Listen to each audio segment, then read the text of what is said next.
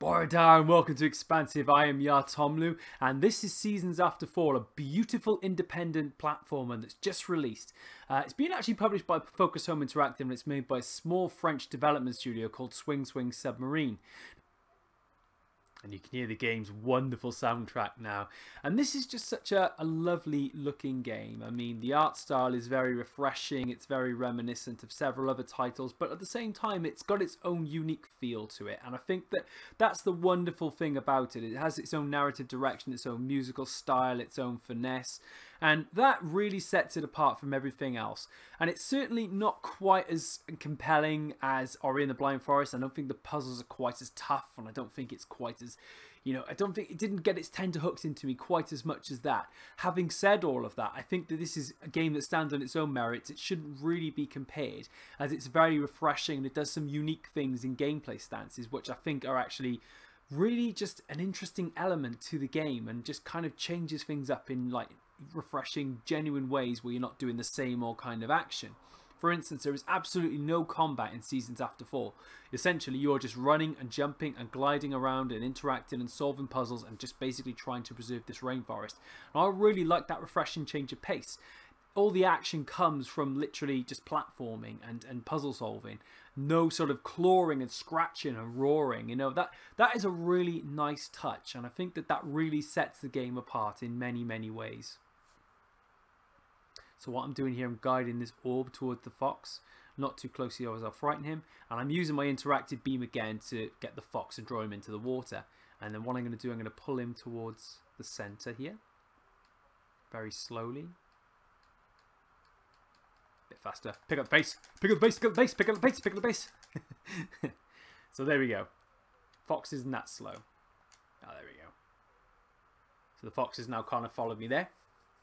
And what's going to happen is now we're going to have the little ceremony, the little ritual where the fox is now going to be assumed by the spiritual essence.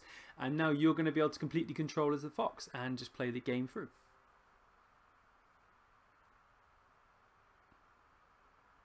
And you can see the fox's eyes now got a real glint to them. Now, the game is kind of open-ended in the way you go, but you do have set structure as well. So, um, we're going to run to the east now.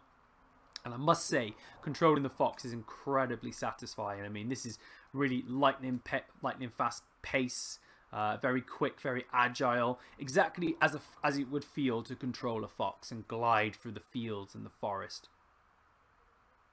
The game kind of does have a Sonic the Hedgehog kind of Tails-esque vibe to it as well. I mean, I'm not just saying that because it's a fox. I mean, you do kind of feel like you're gliding through the air and you're running through things very quickly and it's just a very, you know, it feels great.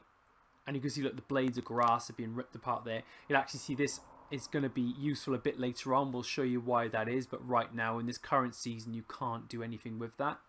So I'm just going to keep running. I'm going to kind of explain what the general gist of the game is about. So you can see the blades of grass flicking them back there. Lovely effect of the water crashing against the cliffs as well all the lovely subtle changes in the background. That's what I love about this game. The game really has a lot going on. It's just you may not absorb it straight away when you're going past it. Now what you see in there, you've just seen that inhabit those plants. If you jump on them now, you can actually bounce between them a bit like Casino Zone in uh, Sonic the Hedgehog.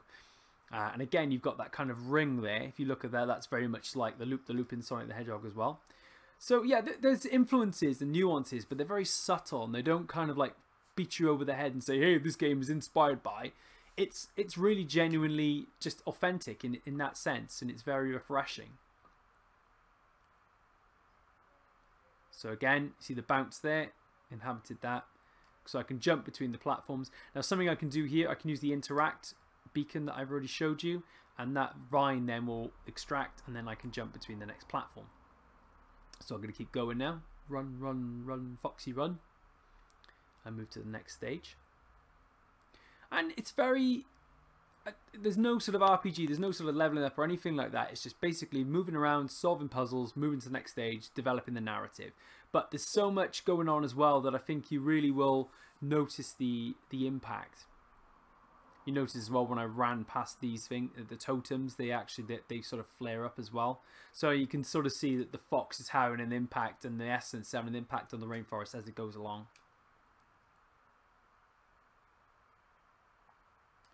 Now I'm jumping between tree branches, which is always fun.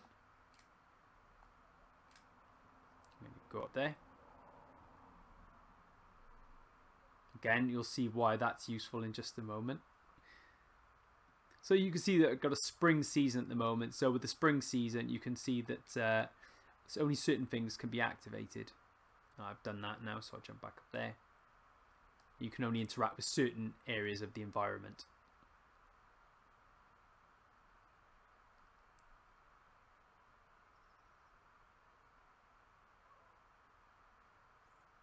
I just gotta love playing as a fox.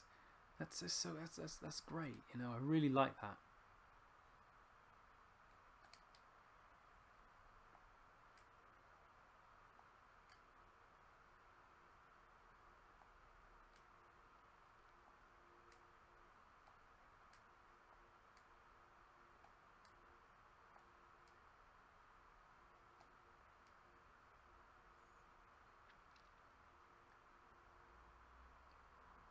Foxy. Alright, we're going to go down here now. Now, this is where things start to get interesting. This is where the game starts to open up a little bit. You'll see what I mean shortly. It's more, it's, it starts to become a bit about the narrative direction. You start to understand what's happening with the game. And also the gameplay starts to evolve a little bit. And you start to understand, okay, this there's more to this than meets the eye. Look at the 3D effect on the eyes there. That's just genuinely impressive, and that's that's no free. That's that's actually just using paints effectively to kind of like create that depth. It's genuinely amazing, isn't it?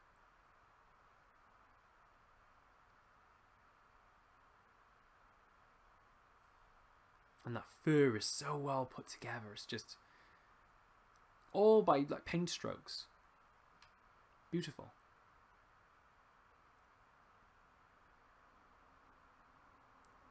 And I think this is a real like play in this game. You've seen so many uh, negative, so much negative feedback about games over the years, and then you see a game like this. It says, actually, you know what? We can create a game where there's no combat. We can create a game where there's no sort of harming and the uh, and there's no sort of destruction, and it's just all about rebuilding, reconciling, reclaiming. And this is what this this game is exactly all about. And I think anyone could just play this and just, you know, be taken in by it. Right, okay, so now we've talked about this. Now watch what happens when I do this. Bark twice. And hey presto, look at that. So now you've actually changed it to a winter infused environment and as you can see there, this plant has sprung to life. If I jump on this, watch what happens. One snowball, thank you very much. Olaf, eat your heart out. So now we can sprint around. And that's the other lovely thing about this as well, is that with backtracking, it never really feels like you actually are backtracking because the, the environment has changed so much that, you know, you're seeing the same sort of scenario, but it's different. And as you can see there, that vine that was previously extended uh, is now retracted. So what I need to do now, and this is again where the puzzle solving element comes in, I change environment back. That can that comes back to life. I can use that, jump, and jump back. And look at that seamless transition as well between seasons. I mean, that is just so wonderfully orchestrated and paced. And there's no sort of real lag there. There's just, it's, it's seamless. And you're still controlling the action as you're going along. So that's a really genuinely impressive thing in this game.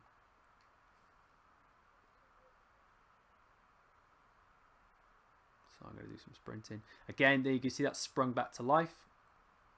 So once that is activated, there we go. So jump back here. And bounce. Boing! And one puked up snowball coming up. So there, we can go back up there now. And just keep running. Just keep running.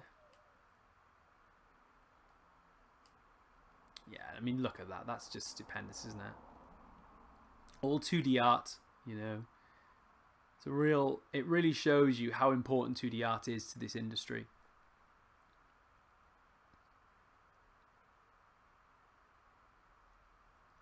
and I think I'm not, I've not really said much about the mechanics side of things and, and obviously the musical score, but generally the mechanics and the game feels very light and very agile and very easy just to pick up and jump into and play. It's it's and look at that coloured lighting there. You see the coloured lighting effect of that. That's again just small little touches all around.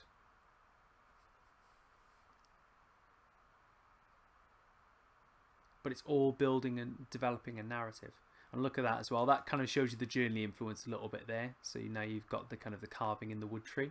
That's very cool. So yeah, you got the, this transition effect there.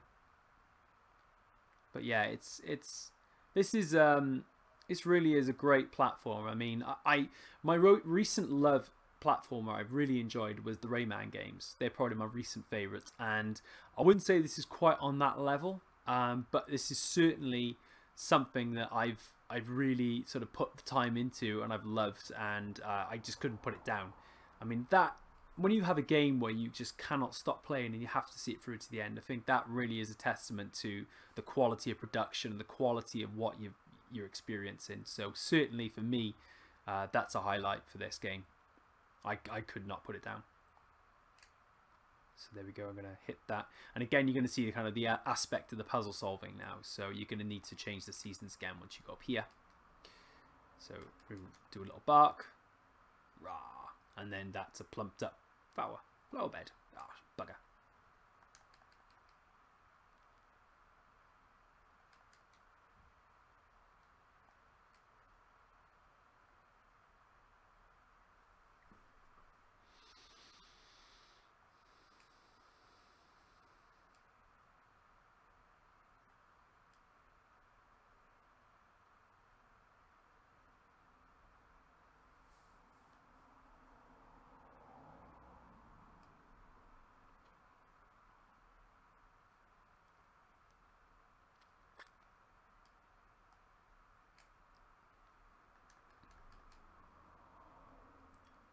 Okay, so now that's infused. So jump. Whee! Look at that.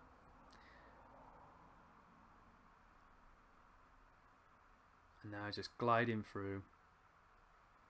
I think that's the great thing about the game, the pacing of it. You really kind of, um, you sort of, as you're learning more about the world, it's kind of you're feeling more and more attached to what's going on. You're more attached to the scenario, more attached to the mechanics. And I said the pacing is just enough that it kind of draws you in just just fine. Um, yeah, Seasons After Fall is just a wonderful platformer, a wonderful experience in many ways. And I think we've been spoiled for that this year, certainly with the likes of Abzu and the re-release of Journey and, and now this and many other games as well, certain to come. Ori and the Blind Forest last year. This is just uh, fantastic piece of work and um, I, this honestly I, I know people say recommend this to anyone. I would genuinely recommend this to anyone. Even people who are against video games and say video games have got nothing to teach people have got nothing to show other than violence and shooting and punching and kicking this is absolutely nothing like that. This is something completely special something completely separate. Seasons after Fall, lovely lovely game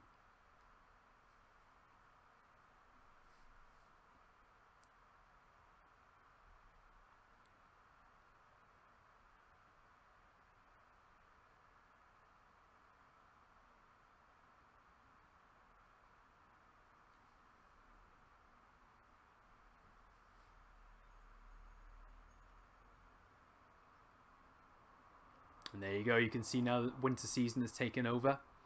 It's the predominant season. But as you progress, of course, you get access to spring and autumn as well. So you can kind of use that and then that will have an impact on the environment in different ways as well. So yeah, uh, this is just, I think I pretty much said all I need to say. Um, you've seen all you probably need to see as well. This is what the game is. It's truly it's brilliant. Um, I think the one thing I would have hoped for potentially is some co-op, I suppose, in the sense of perhaps having the orb being able to be controlled by another player. Uh, but having said that, it kind of detracts in the narrative as well doing that because you kind of the, the whole point is the orb is inheriting the, the fox so the fox can then you know actually dictate what's going on and actually control the action. So it wouldn't really have made much sense narratively to do that, but I suppose that's just me being a bit sort of, well, if only. But other than that, there's nothing really to say other than just buy this game. Just just get involved, buy it, try it, play it, experience it. It's something that comes along very rarely um, and should be appreciated and celebrated. Um, so yeah, Seasons After Fall out now.